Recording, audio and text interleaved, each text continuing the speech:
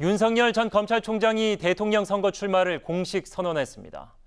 검찰총장직에서 물러난 지 118일 만에 정치인 윤석열이 된 건데요. 격앙된 어조로 문재인 정부를 비판했습니다. 먼저 김민주 기자입니다.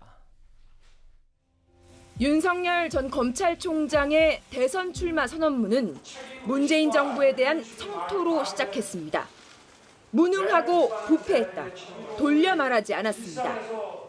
경제 상식을 무시한 소주성, 시장과 싸우는 주택 정책, 매표에 가까운 포퓰리즘 정책으로 소수의 이권 카르텔은 권력을 사유화하고 그야말로 부패 완판 대한민국이 윤 전 총장은 그래서 반드시 정권 교체가 필요한데 모든 힘을 합쳐야만 가능한 일이라며 야권 단일 후보의 중요성을 강조했습니다.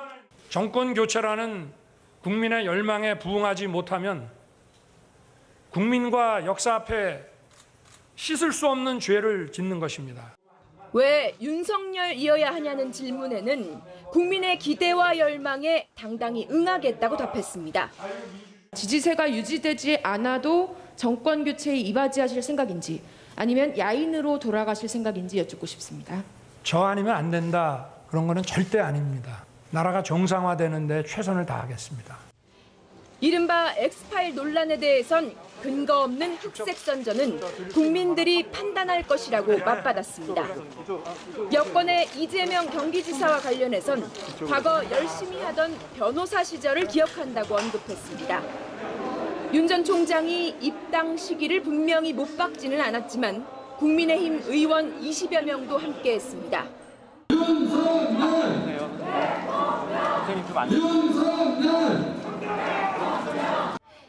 행사장 밖에는 지지자 수백 명이 몰려들어 윤석열 대통령을 외쳤습니다. OBS 뉴스 김민주입니다. 검사에서 정치인으로 변신한 윤석열 전 검찰총장.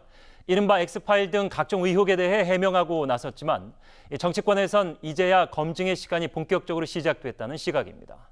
이어서 정초로 기자입니다. 윤석열 전 검찰총장은 지금까지 정치 준비 단계였습니다.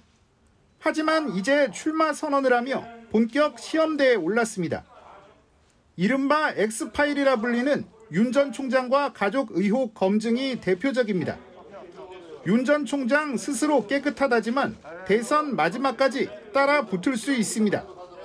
당장 이번 금요일 요양급여 부정수급 혐의를 받고 있는 장모의 1심 판결이 1차 고비입니다. 그럼에도 불구하고 6월 29일에 이런 행사를 준비하고 개최했다는 것은 그런 부분에 대한 상당한 자신감이 있는 건 아니겠느냐.